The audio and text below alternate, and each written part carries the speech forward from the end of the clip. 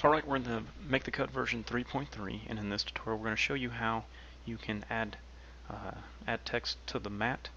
Uh, in this version he added some new features that uh, that I'd like to discuss. So um, so one of the first things we'll probably have to talk about is uh, is this caret right here, this little line. You can double click anywhere on the mat and your caret should follow. Uh, you can increase and decrease your size of the caret. Basically the the length of that caret is going to be the height of the text that's coming out of uh, when we type. So you can you can increase and decrease right here.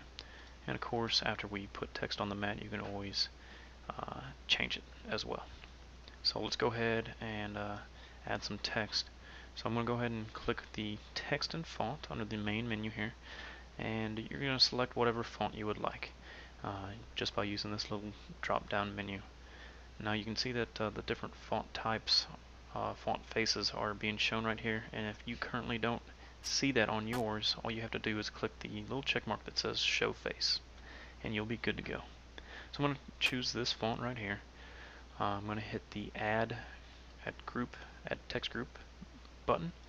And uh, right here I already have some text put out here. Uh, you can now do multi-line text.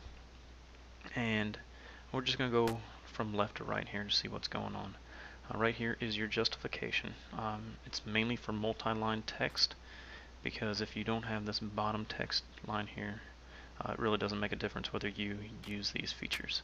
So multi-line text, you can see right now it's left justified. And now we can go over here to uh, be center, and then we can be right justified.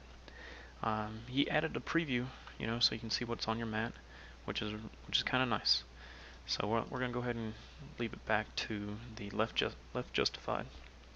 And the V space, vertical spacing, uh, that is between multi-lines. So between each line, you know, as you can see, I'm using the up up arrow, and I'm using the down arrow, and the preview on the mat is showing you how that V space is affecting affecting the uh, the letters. So all right, that's fine. I'm just gonna leave it at minus 12. Um, now splitting. Um, I'm going to go ahead and zoom in to the, the area right here and as you can see I'm going to just use the drop down menu and I'm going to go ahead and split the lines and see what that does. Alright, splitting lines. Um, I'm going to go ahead and hit accept and we'll, we'll check this out. I click on the top line and I can move the whole line at a time. Likewise, I can move the whole line from the second word, you know, just fine and it moves together as a group. Let's, see what split by spaces does. So every time that you have a space in your text, it will automatically split it. So basically you, what you're doing right here is you're splitting by word. So I'm going to go ahead and, head and hit escape. As you can see, I can click the word and they, they move as a group. So that's what split by uh, space does. Um, now we can go ahead and split by glyph. Uh, glyph is like a little fancy term by uh, you know split by letter. So I'm gonna go ahead and hit accept.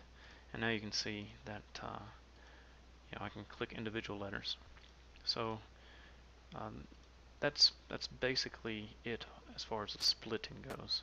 So let's go ahead and uh, alright rotation. Now we can rotate uh, rotate left rotate right and all it does is flip the letters. Uh, as you can see it now says family vacation going long ways so that's that's basically it with uh, does this, does just the opposite for rotate right. So just rotates all those letters right. So so that's basically it. Uh, of course, you always have the reset button, and it just takes everything back to sort of like factory settings for the add text group. So uh, I hope you got something out of this. I'm Rob with ScrappyDew.com. Thank you.